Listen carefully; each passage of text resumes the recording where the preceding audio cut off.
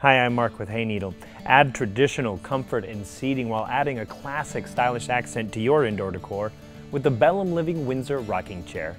Made from durable rubber wood and plywood and finished in a timeless and natural oak, perfect for matching nearly any existing decor. The bowed back, slatted design, and the large seat, this chair is surprisingly comfortable. Not to mention the spindled legs that end on a curved base that gives you that classic gentle rocking motion.